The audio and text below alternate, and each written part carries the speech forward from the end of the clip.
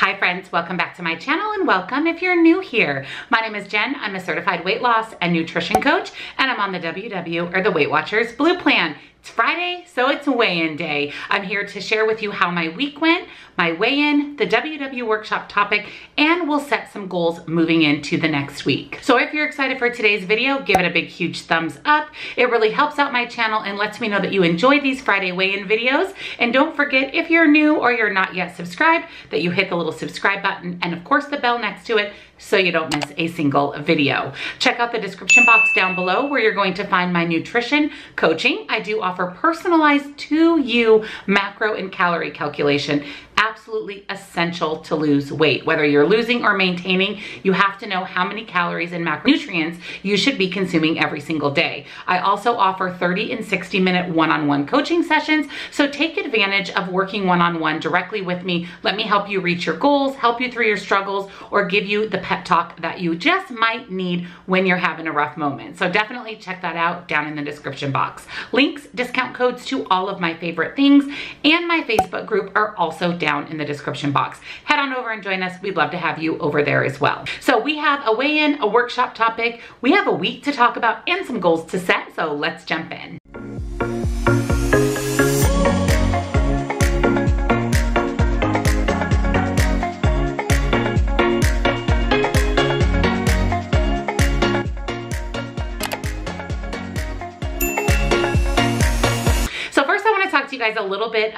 My week. I had a great week. I felt a bigger sense of motivation and I think a lot of that stems from having to step on the scale every single morning. I will say that I'm not loving stepping on the scale every single morning. A lot of times I almost forget. I think about drinking my coffee and then remember, shoot, I gotta get on the scale. So I'm not loving it. I'm finding it to be a little bit tedious, but I will say that on the positive side of weighing in every morning, it's really helping me stay on track. I don't want to overindulge and then have to weigh in the next day. So mentally, it has helped me a little bit when it comes to that. Now, speaking of weighing in every day, I told you that I would share with you what my thoughts are moving forward as far as daily weigh-ins. So I challenged myself to weigh in every day in the month of February, which I am doing and will continue to do until month's end.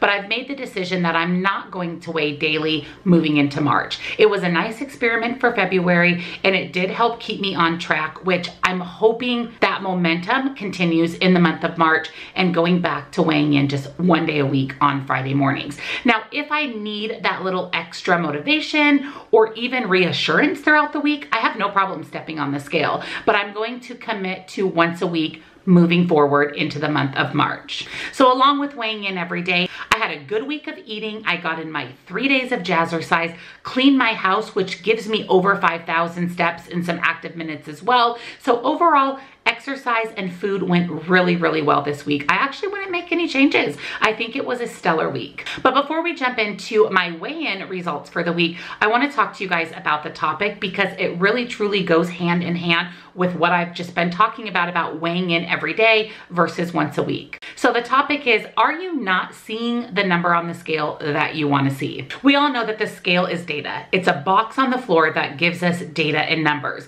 It's not the be all end all. It's not the only indication of our success on our weight loss journey. There are so many other indications. Taking your measurements, non-scale victories, seeing a change in your clothes, feeling stronger and healthier. So today we're gonna focus on those non-scale victories.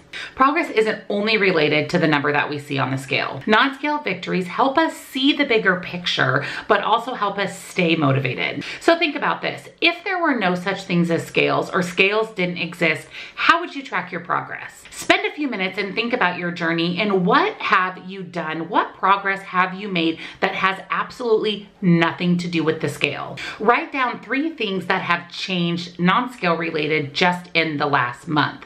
Are your clothes fitting better? Are you feeling healthier and stronger? Do you have less chronic pain or fatigue? Take a minute and really think about three things non-scale related that have changed for the better in the last month. One of these three things may be a healthy habit that you've created. Maybe you've started a workout routine, or maybe you've stopped snacking at night. Really think hard and dive deep into what's changed in the last month.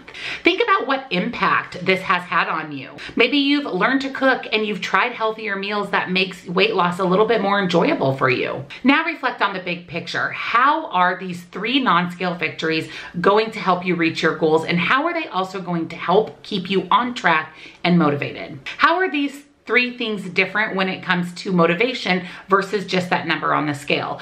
I don't know about you, but in the past, not so much now, but in the past, that number on the scale meant everything to me. And if I got on the scale and saw a gain or a maintain when I felt like I did everything right, it could completely derail me. Not just for the day, but sometimes for the entire next week. That was one of the big reasons that I made a commitment to myself not to have the scale be the only thing that matters to me.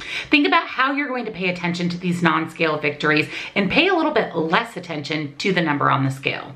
Fun fact, 82% of WW members said that thinking about past successes, not scale related, has helped them not only stay on track, but get back on track when they've fallen off. I personally think non-scale victories and changes not relating to the scale are even more important than those that are related to the scale. So down in the comments, let me know what were your three positive changes that you saw this last month.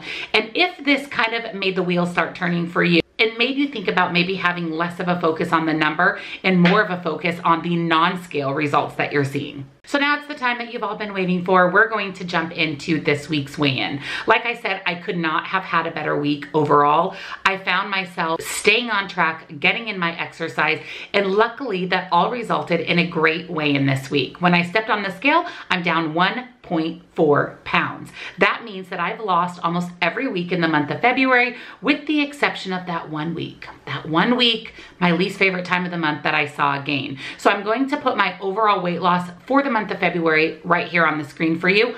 I'm thrilled with that. Like I mentioned, the scale's not everything to me. So I am feeling healthier, stronger, and honestly, most importantly, more in control. And that's huge for me. So moving into March, I'm going to be doing more of the same. My commitment is three days a week at Jazzercise, but with my husband being home on a medical leave, I'm thinking that I may try to get in an extra day during the week. I'm not going to plan it, but in the event that I have time, I'll try to work that in to make it four days in a week of working out. I'm also going to continue to stay on track, track every single day. Honestly, good or bad, I'm going to track everything. I'm going to hit my calorie goal with points as my secondary measure, and I'm hoping to have a very successful month of March. I shared in a past video that we're getting another dog. His name is Palmer. He's a Frenchton, 75% French Bulldog, 25% Boston Terrier, and we're getting him at the end of March. So I really need to be on my game before and especially once we get him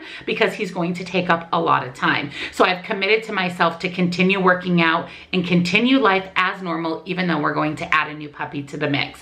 Don't worry, I'm vlogging the entire thing. We're actually driving eight hours one way to pick him up. So there'll be a lot of fun footage the first time we meet Palmer for you guys to see in a future video. So now I wanna hear from you guys. Let me know how your week went. If you weighed in every day in February, are you going to continue to do that moving forward? And just let me know what your three successes in the last month were non-scale related. If you enjoyed today's video, don't forget to give it a big, huge thumbs up. It really helps out my channel. And if you're new or you're not yet subscribed, hit the subscribe button. Don't miss a single video. I do upload most days of the week. And if you ring the bell next to the subscribe button, you'll just be notified when new videos are uploaded. That way you're not missing out. I do a weigh-in every single Friday. Again, check out the description box for nutrition coaching, links, and discounts to my favorite things and my Facebook group. Thank you so much for spending some of your Friday with me. Have a fantastic weekend, and I'll see you in tomorrow's grocery haul.